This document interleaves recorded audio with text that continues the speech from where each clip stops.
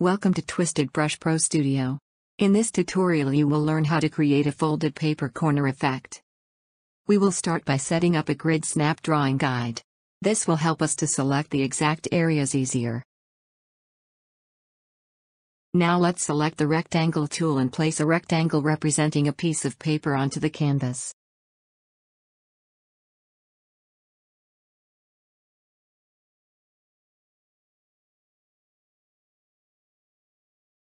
Duplicate the layer and change the color of the second piece of paper with the paint bucket tool.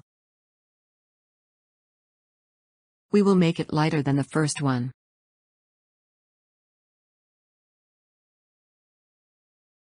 The next step is to create a mask to select the corner area.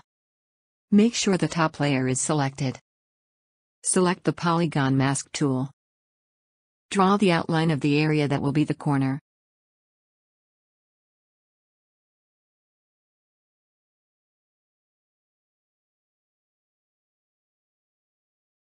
Press the Done button. The mask is created, but we want to invert the mask so that the mask covers everything except the corner. Select Invert Mask from the Mask menu. Select the Copy tool. And draw a rectangle around the corner. After releasing the mouse button the paper corner area will be saved in the clipboard. Use the Clear Layer command to clear the paper corner. Notice that the corner is gone but the rest of the top page was protected by the mask. We don't need the mask anymore so select Clear Mask from the Mask menu. Create a new layer. This is where the folded corner will be placed. We will hide the second layer, so that the corner can be visually placed properly. Select the Paste tool. And then select the Stamp mode from the drop-down menu. Enter 180 for the rotate value since you want the clip corner rotated. Do not change the size, this should be the size captured. Place the corner in the correct location by clicking and dragging. Now let's add a shadow for effect. Unhide the second layer to see better how the drop shadow will look.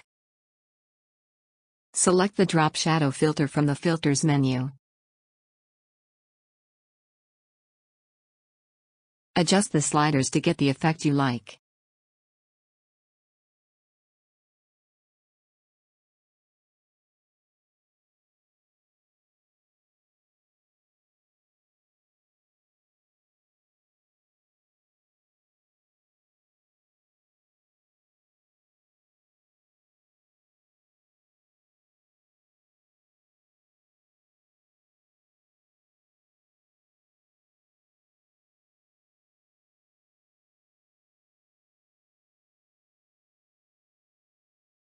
Press the Apply button when you are ready. Here is our folded paper corner effect.